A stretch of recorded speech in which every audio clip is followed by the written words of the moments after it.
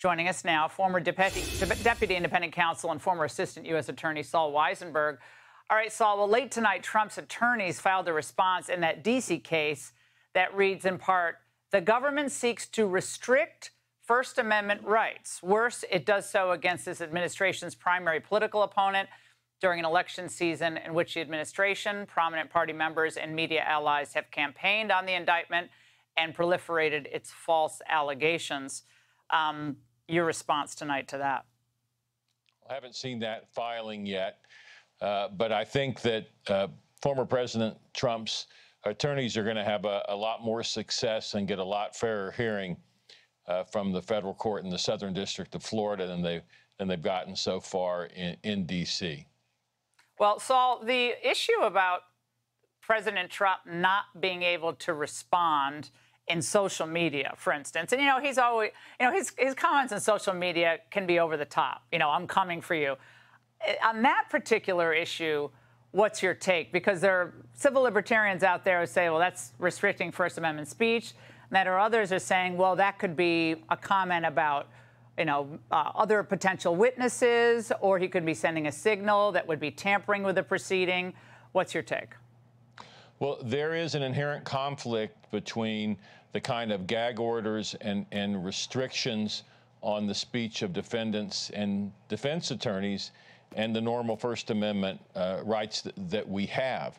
And unfortunately, the case law uh, set by the Supreme Court is, is un unclear all, on this. They decided on a case-by-case basis. And most districts have a rule that says you can't make a statement, a defendant, uh, no party can make a statement that might impact the administration of justice. And that's very, that's very loosey-goosey. And he's going to have to be careful about what he says on uh, social media, and we're likely to see uh, some kind of a ruling very soon from uh, Judge Chutkan in D.C. And um, and so um, stand by because she accelerated the response time. You know, normally Trump's attorneys would have had a lot more time, and they didn't have it here.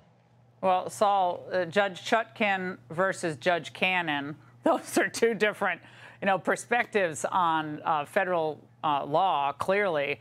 And we're going to see, we're going to get a lesson in, you know, different approaches to judicial interpretation, are we not? Absolutely, absolutely, it looks that way, and expect Judge uh, Cannon to be uh, continued to be attacked by by some of the people you showed earlier today. They're already talking about uh, oh, we're going to have to move to recuse her. But really, uh, these federal prosecutors, in most cases, including most high profile political cases, are used to getting whatever they want from federal judges because of the way the federal system is heavily slanted in favor of the prosecution. And this judge uh, in the Southern District of Florida, Judge Cannon, is saying, wait a minute, explain yourself. You don't automatically get to put things under seal. You haven't made a strong enough showing. Uh, and and so she's also said, wait a minute, I want an explanation for why you're using the D.C. grand jury uh, uh, for post-indictment matters in Florida. So there are two things it's, it's, that she's interested in here. Number, number one, you brought this case in the Southern District of Florida. Uh, why are you using the D.C. grand jury related to that case? Number two, once you indict a case, the law says you're not allowed to use the grand jury uh, use a grand jury to gather evidence for trial. Now, there's a major exception to that. That exception is if the prosecutor says, well, wait, we're looking at further crimes, we might file a superseding indictment.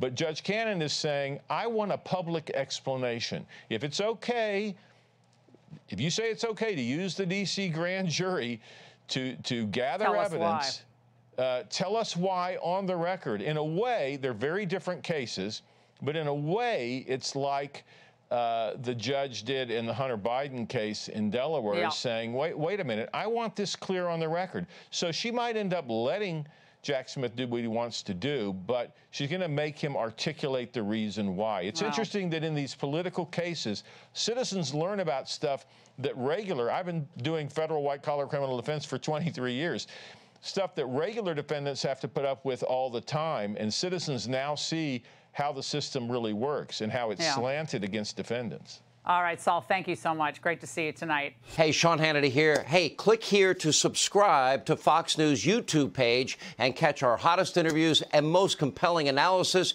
You will not get it anywhere else.